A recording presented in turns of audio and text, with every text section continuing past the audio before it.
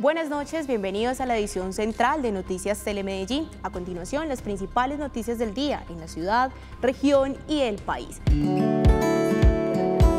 Tuve la oportunidad de vivir en Medellín, en diferentes partes, también en Envigado, en Itagüí, en La Estrella.